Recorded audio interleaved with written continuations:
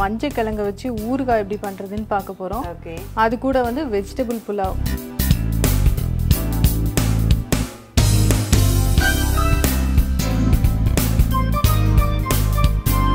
பிரமாதம் மேம் ருசிக்கலாம் வாங்க. இன்று மதியம் ஒரு மணிக்கு நமது புதியுகத்தில்.